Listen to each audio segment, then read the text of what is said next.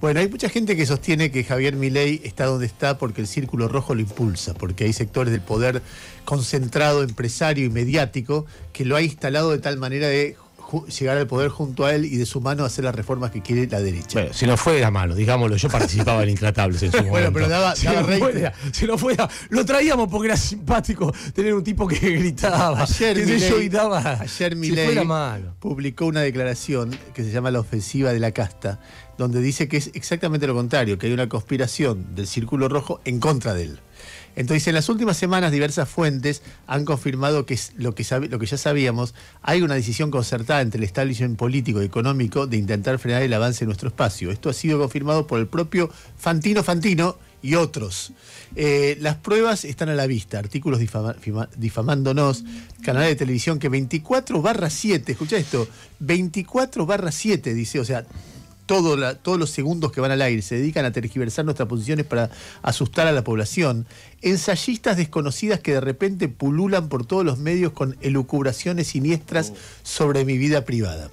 Ensayistas desconocidas que de repente pululan por todos los medios con elucubraciones siniestras sobre mi vida privada, no sé a quién se refiere, pero me da, me- me da la impresión que se refiere a una escritora llamada Paula Oloisharak, que eh, la vez pasada en TN, eh, no es que pulula por todos los medios, eh, escribió en La Nación, escribió un libro sobre varias personalidades, y entre ellas la de Milei, y se hacía preguntas sobre cómo es la relación de él con los perros, con la hermana, que es, digamos, son preguntas no sé, que son legítimas en cualquier país del mundo se discute sobre esto, depende del tono en que se hagan y qué sé yo, pero de que de ninguna manera esta discusión, que puede ser intervenciones correctas o incorrectas, que cada cual tendrá su gusto, muestran parte de una conspiración. Él habla de, hoy se suma, dice, periodistas que publican información brindada por nuestros adversarios sin siquiera intentar chequear con nosotros la veracidad de la misma. Hoy se suma un ataque coordinado sobre nuestras redes sociales. Twitter ha decidido desaparecerme. Me impresiona la, terminología similar a, a Cristina cuando dice Macri me quiere desaparecer.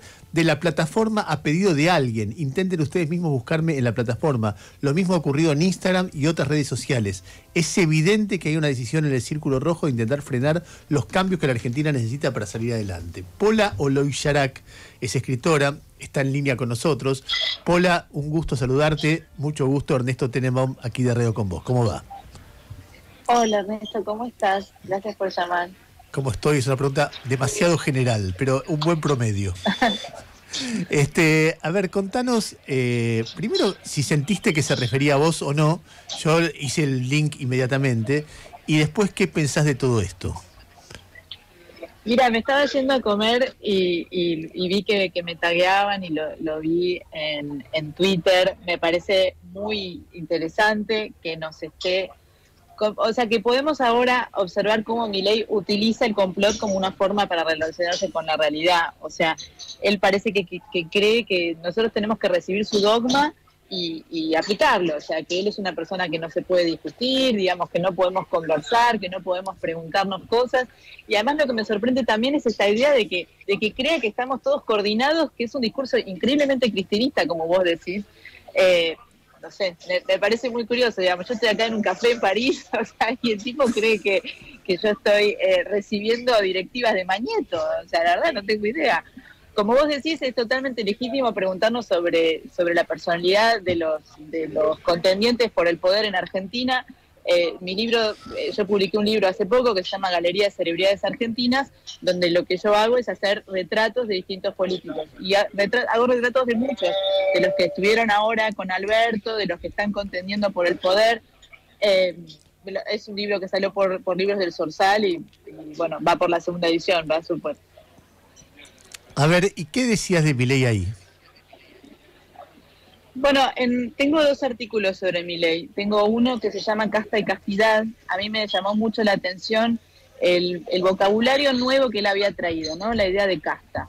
Pero a la vez como veía que él estaba con familiares de Bussi, con familiares de Menem, que había tantos como peronistas reciclados detrás de la libertad de avanza de su fuerza, pensé, esto en realidad no tiene tanto que ver con la antipolítica, sino que quizás hay otra cosa en, en, esa, en ese restañir tan, digamos, tan, tan marcado de la casta. Como vos decías antes, bueno, lo invitaban a los programas porque era divertido, pero, pero digamos, esta idea eh, realmente pululó. Esta, esta idea hizo que un montón, muchas personas de la clase política también se la apropiaran. Entonces yo empecé a mirar qué significaba esta idea de casta.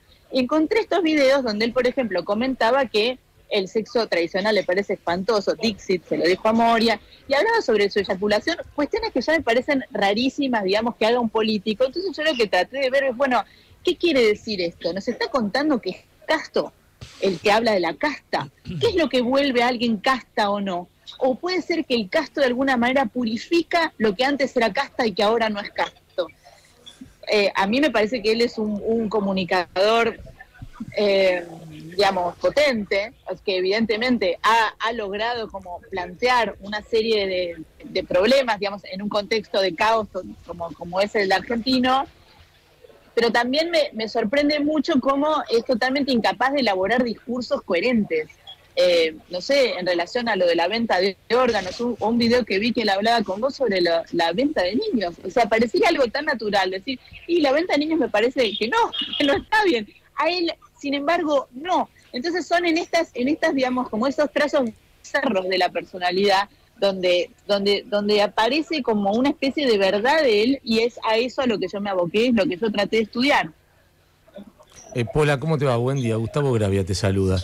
Eh, hay, hay algo que no, no, termino de entender. Suponete que sea Casto. Yo creo que todo se armó por unas declaraciones que vos habías hecho en TN en algún momento, que creo que eh, refieren a eso eh, eh, en lo que vos escribiste en el libro, sobre, sobre su sexo, sobre su, una supuesta relación inventada con una cantante que, si no me equivoco, en algún momento era de las primas, para mostrar que tenía una mujer al lado cuando no lo tenía. Digo, ¿Cuán importante es eso? No, yo no le veo la importancia a si es casto, si, si no lo es. Digo, e, en, su discurso político, ¿hay tantas cosas para, para analizar o no? Bueno, a mí cuando una persona me habla de ciertas cosas y me habla de su relación terrible con su padre y, y digamos, lo veo permanentemente maltratar a mujeres, maltratar, o sea, de una manera muy extraña también, porque no es que meramente les gritaba, se ponía en una posición tan infantil, por ejemplo, no sé, digamos, tantos videos que vi de él, que la verdad es que me empezó a interesar preguntarme por la psicología de esta persona. A mí en particular, que sea casto o no, por supuesto que me interesa en absoluto. Eh, no, no, no es que me parece que sea una cuestión en sí, ¿entendés? Que digamos que tengamos que decir, esta persona no está apta para la presidencia porque, no sé. No, no, pero, yo, a ver, yo estoy. me parece. A ver, yo, bueno, te estoy respondiendo. No, no, pero yo soy. yo soy, pará, pará, yo soy. Vos me preguntaste, ¿te importa eso? Escuchame, Pola, Pola, Pola, Pola, Pola, Pola, Pola, escuchá. ¿Entendés? pero me estás interrumpiendo. Pero escuchá un cachito, yo no soy Gustavo, soy Ernesto. Y que estabas queriendo aportar una cosa. Bueno, da igual. Pero espera, estaba, queriendo decir que yo estoy de acuerdo con vos, no me dejaste terminar.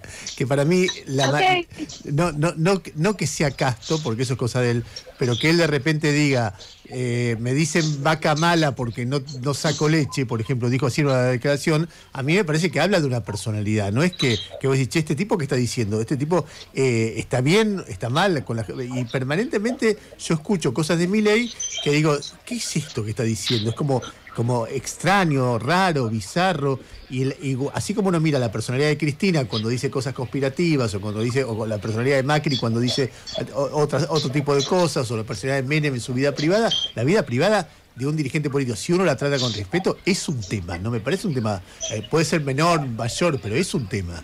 Eso, eso pienso yo, qué sé yo. Por supuesto que sí, o sea, queremos entender qué tipo de personas son las que quieren tomar el poder en Argentina. A mí me interesa saber si es una persona autoritaria, me interesa saber si es una persona que no puede tolerar el disenso, me interesa saber si es una persona que no puede mantener como relaciones de amistad en el tiempo. Porque digo, ¿qué pasa? ¿Se va a pelear con Uruguay? O sea, ¿se va a pelear bueno, no sé si hay una línea directa entre una cosa y la otra. Son cosas, bueno, bueno, no sé, a mí me interesa saber qué tipo de persona voto. Entonces, cuando una persona me comparte tantas cosas de su vida, como vos contabas, como que hay tan, digamos, como hay tantos elementos bizarros, hay tantas actitudes desequilibradas, hay tanto, digamos, él permanente habla, de la libertad, pero yo veo un hombre encadenado. Entonces, digamos, hay tantas cosas raras en él que es por eso que a mí me, parece interesante, así como me parecen interesantes tantos políticos, porque, sea, en mi libro yo, me, digamos, me meto con como con el retrato de la personalidad de un montón de otras personas, no es solamente sobre él, pero bueno, él evidentemente como es una persona eh, no sé, a, quien le parece extraño tener una discusión con otra o intercambiar ideas, es que se pone tan mal y empieza a ver complots en su contra. Claro, bueno, ese, ese punto me parece bastante más, ese punto me parece como más interesante que si, digo, que si es casto o no, en, en la discusión en cómo se había formulado. En todo caso, yo le puedo discutir ideas a mi ley que tiene que ver con las cosas que vos misma referiste recién, eh, la venta de, órganos, la venta de niños, los vouchers educativos y un montón de cosas que él presentó en su plataforma, que además presentó una plataforma, digo, a diferencia de muchos otros, y vos decís, ah, bueno, si esto es lo que vas a hacer, cuán lejos estás de probablemente el país que algunos queremos. Eh, y además, esto que vos marcás, la, violencia verbal todo el tiempo, donde no puede mantener una discusión. Pero de ahí, a, la verdad, a, poner el centro en si tiene relaciones sexuales o no, si tiene una novia inventada para que crean que, anda con una chica, no sé, a mí eso eh, me resultó llamativo no sé, es algo que vos estás trayendo, digamos. Eh, yo hablé de un montón de cosas en esa entrevista de TN y, bueno, digamos... Eh, Pola, este... ¿De dónde viene la idea de la carta? Bueno, uno puede abundar. Pola, eh, ¿estás en París hace cuántos días? Eh, llegué mm, el, el jueves llegué. El jueves. ¿Y cómo está París? Decime lo primero que viste.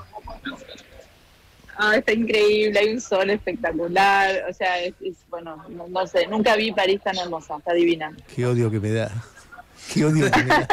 Profundo odio. Además, viste, siempre venís a, París y, llueve y está todo mal, y aunque aunque parece que va a haber sol, en realidad llueve y es un desastre, y bueno, no, es un, no sé, ni los parisinos lo pueden creer. O, sea, es delirante, estamos todo el mundo en manga corta. O sea, fuiste varias veces a París.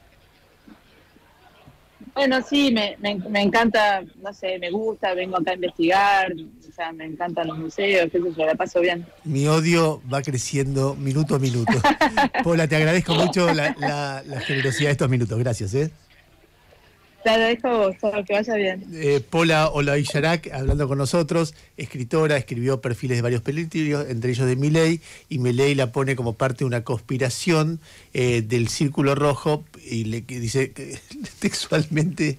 Eh, Dice, eh, ensayistas desconocidas que de repente pululan por todos los medios con elucubraciones siniestras sobre mi vida privada, periodistas que publican información brindada por nuestros adversarios sin siquiera intentar chequear con nosotros la veracidad de la misma, el ataque de Gnosis, inventándome un pasado en el Congreso que nunca existió, o sea, Gnosis eh, incorporado a la conspiración en contra de él, Hoy se suma un ataque coordinado sobre nuestras redes sociales. Twitter ha decidido desaparecerme. O sea, en contra de esta Twitter, está Gnosis, están los canales de televisión, eh, están las ensayistas desconocidas que pululan, están los periodistas que no lo chequean. O sea, hay un centro que maneja una conspiración contra mi ley en la cual incorpora a distintos sectores de. Si le pasa algo, ¿a dónde tengo que mirar? Porque Cristina siempre me dijo: si me pasa algo, mira el norte.